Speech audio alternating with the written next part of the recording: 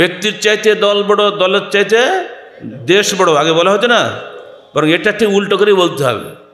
দেশের চাইতে দল বড়, দলের চাইতে ব্যক্তি বড়। এটি হচ্ছে না আজকাল? আমরা চাই নেতার পরিবর্তন নয় নীতির পরিবর্তন করো। মনে রেখে দিও, কোশ্চিন কালেও ইহুদি, নাসারা তোমাদের বন্ধু নয়। যতক্ষণ না তোমরা তাদের রীতির অনুসরণ করবে। আর ডোনাল্ডের মতো একটা পাগল যদি সাত কোটি ভোট পায় ভোট পায়, তাতে সমস্যা কি? আমার তো মনে করি পাগলরাই ভোট পাবে বেশি জ্ঞানীরা পাবে না এদেশে জনগণের সার্বভৌম ক্ষমতার উৎস এটাকে ঠিক কথা হচ্ছে? বলা হচ্ছে অধিকাংশ রায় চূড়ান্ত এটাকে ঠিক? একটি ভোটে জিতে গেলে সে ভালো হয়ে গেল? আহলেদিস আন্দোলন বাংলাদেশ। আসুন পবিত্র কুরআন ও সহি হাদিসের আলোকে জীবন গড়ি। নেতার চাইতে দল বড় দলের চাইতে? বলেন। এই আপনাদের মুখস্থ এগুলো বলেন না কেন? এখানে এখানে ভোটের লোক নেই? ব্যক্তির চাইতে দল বড়, দলের চাইতে দেশ বড়, আগে বলা হতো না? বরং এটা ঠিক উল্টো করে বলতে হবে। দেশের চাইতে দল বড়, দলের চাইতে ব্যক্তি বড়। এটি হচ্ছে না আজকাল? টাকা দিয়ে লোক ভাড়া করে মিছিল করে, দেখা যায় কত লোক আমার সঙ্গে আসে এমনকি আমেরিকার মতো দেশে, ডোনাল্ড ট্রাম্প জেতার পরে যখন হিসাবটা বের হলো, তিনি বলছেন, আমি পার ভোটার দশ ডলার করে দিয়েছি গড়ে। বুঝতে পারছেন বিষয়টা? আমেরিকাকে বলে বর্তমান বিশ্বের সবচেয়ে সভ্য দেশ। এদের মতো অসভ্য দেশ পৃথিবীতে আছে?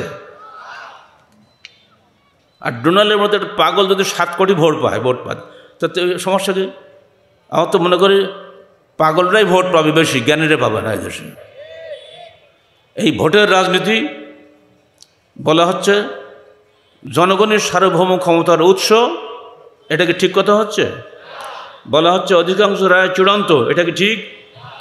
একটি ভোটে জিতে গেলে সে ভালো হয়ে গেল? সংখ্যা বৃদ্ধি আর সংখ্যা কম কখনোই ভালো মন্দের মাপকাঠি নয়। ভালো মন্দের মাপকাঠি হবে আল্লাহর ওহির বিধানে।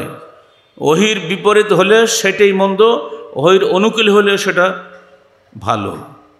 ভালো আর মন্দের মানদণ্ড নিয়ে সারা পৃথিবীতে চলছে এখন যত জ্ঞানী মানুষ, সবাই কিন্তু কোরআনকে অগ্রাধিকার দিয়েছে জজ বার্নট শ বিশ্বের জ্ঞানীমণ্ডলী এক নামে তাকে চেনে তিনি দার্থহীন ভাষায় বলে গিয়েছেন if a man like Muhammad Islam were to assume the dictatorship of the modern world. He only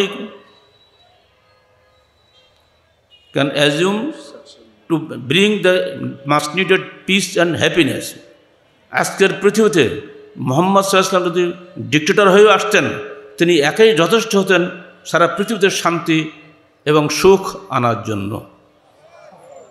এরকম কত রেফারেন্স আমাদের কাছে আছে। ভট্টান রাসেল বলছেন, নেপোলিয়ন বোনাফাট বলছেন, এমনকি এই যে ভারতের মিস্টার গান্ধীর কথা বলে হিন্দু মানুষ। যখন দেশ স্বাধীন হলো, স্বরাজ আন্দোলনের পক্ষ থেকে উনি বলে দিলেন, দেখো, স্বরাজ পার্টি। তোমরা যদি সত্যিকার অর্থে ভারতের মানুষকে শান্তি দিতে চাও, তাহলে মোহাম্মদের বিধান তোমরা এখানে চালু করো। অন্য বর্ণে আসছে, ওমরের বিধান এদেশে চালু করো। স্বীকার করে সবাই, কিন্তু দায়িত্ব নিতে পারে না কেউ। কারণ অধিকাংশ লোক তো পাগল, হুজুগি মাতাল। হুজুগ দেবে কে? জ্ঞানী লোকেরা কখনই ঘরে ঘরে যে ভোট চাই বেড়ায় না। তারা কখনই রাস্তা হুজুগ দেয় না। ফলে জ্ঞানী লোকরাই আজকে পৃথিবীতে সবচেয়ে নির্যাতিত হচ্ছে হক কথাকে বরদাস্ত করতে পারে না। আমরা চাই নেতার পরিবর্তন নয় নীতির পরিবর্তন করো। হিন্দুরা যেভাবে চালাচ্ছে, মুসলমানরাও তাই। তাহলে পার্থক্যটা কী হলো? হ্যাঁ আজকের অমুসলিম বিশ্ব এক হয়ে গেছে ফিলিস্তিনের বিরুদ্ধে। কিন্তু মুসলিম বিশ্ব কি এক হতে পেরেছে? কারণটা কি? এরা সবাই ওই অমুসলিম বিশ্বের হাতে বন্দি। কেউ অর্থনৈতিকভাবে বন্দি, কেউ বাণিজ্যিকভাবে বন্দি, বিভিন্নভাবে বন্দি। এদের জবান খুলছে না, কথা বলতে পারছে না। পঁচিশ কোটি মুসলমান আছে ভারতে। তাদের ইচ্ছার বিরুদ্ধে তাদের মন্ত্রী কী বলে মোদি বলে দিচ্ছে, আমরা ইসরায়েলের পাশে আছি। কিন্তু নব্বই পার্সেন্ট মুসলমান দেশ বাংলাদেশ। এখানকার প্রধানমন্ত্রী বলতে পারছে না যে আমরা ফিলিস্তিনের পাশে আছি। কাল নাকি একটুখানি বলিছে ঠিকঠাক করি। গায়ে তো বল নাই, বলে তো সমস্যা। কারণ ওদের, এদের তো এলাহ আলাদা। দুনিয়াবি এলাহ, ইহুদি খ্রিস্টানরা। অথচ আল্লাহ বহু আগেই কোরআনে বলে দিয়েছেন ওলান তরদা, বলেন ওলান তরদা আনকাল ইহুদ ওলান নসরা হাত্তা তাত্তাবিয়া মিল্লাতুম। মনে রেখে দিও, কোশ্চিন কালেও ইহুদি নাসরা তোমাদের বন্ধু নয়, যতক্ষণ না তোমরা তাদের রীতির অনুসরণ করবে। আজকে পুরা মুসলিম বিশ্ব ইহুদি নাসরাদের রীতির অনুসরণ করছে না? ওরা যা করে আমরা তাই করি। তাদেরকে খুশি করার জন্যে আমাদের সরকারি দলও ব্যস্ত, বিরোধী দলও ব্যস্ত।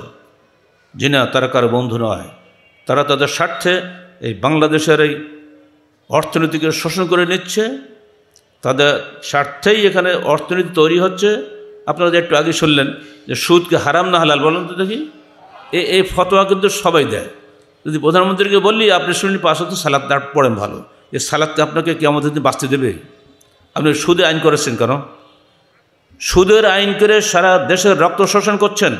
পৃথিবীতে এমন কোনো জ্ঞানী মানুষ নেই যারা সুদকে আপোষ করে নিয়েছে। প্রত্যেকেই সুদকে নিষেধ করেছে। এবং যে কবে সে প্লেটও গিয়েছে, আমার রসুলের বহু পূর্বে। ঈশ্বর ইসলামের আগের লোক। প্লেটও বলে দিয়েছে যতদিন সুদ থাকবে দিন দুনিয়াতে ততদিন দারিদ্র থাকবে, দারিদ্র হটানোর কোনো ক্ষমতা কারণ নাই। অথচ আসল যেটা রেখে দিয়েছি কুয়াতে পচা বিড়াল রেখে উপর থেকে পানি সাজলে কি দুর্গন্ধ যাবে? অত সেটা আমরা রেখে দিয়েছি আইন করে। এই সুদী অর্থনীতি নির্দশ শোষণে আজকে সারা পৃথিবী শোষিত, নির্যাতিত হচ্ছে। আপনারাই বলুন শির্কের রাস্তা দিয়ে কোন তহিদ পাওয়া যায়? সেরকম বিদাত করে কোন জান্নাত পাওয়া যাবে? রাস্তাই তো আলাদা। উল হাজিহি সাবিলি, তুমি বলো মোহাম্মদ, এটাই আমার রাস্তা। দুই ধরনের শাসন ব্যবস্থা চলছে। যুগ যুগ ধরে এক ধরনের মানুষ তাদের পারিবারিক জীবন, সামাজিক জীবন, রাষ্ট্রীয় জীবন পরিচালনা করছে নিজের মন মতো। যেভাবে খুশি সেভাবেই। সেখানে মানুষ হলো পূজ্য। আর এক ধরনের মানুষ আল্লাহর বিধান অনুযায়ী নিজের ব্যক্তিগত, পারিবারিক ও সামাজিক জীবন পরিচালনা করছে। যারা আল্লাহর বিধান অনুযায়ী সার্বিক জীবন পরিচালনা করেন, তাদেরকে বলা হয় মুসলিম। অর্থাৎ আত্মসমর্পণকারী। আল্লাহর বিধানের নিকটে আত্মসমর্পণকারী, এর আরবিতে বলা হয় মুসলিম। আমরা যারা বসে আছি, আমরা কি এ বিষয়ে সবাই একমত যে আমরা আমাদের জীবনকে আল্লাহর বিধান অনুযায়ী পরিচালিত করব?